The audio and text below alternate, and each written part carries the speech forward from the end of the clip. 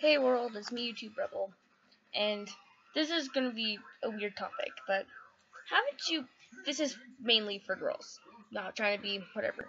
So have you ever just been on any social media, and someone random messages you, and you're like, hmm, okay, and they're like, hey, you're hot, or whatever, I'm like, okay, and then they just randomly send you a dick pic. I mean, this has happened to me more than once, I don't know about you guys. I'm slightly concerned. Why does this happen? I don't know. What is the point of people sending these? I don't know. One way to get rid of it.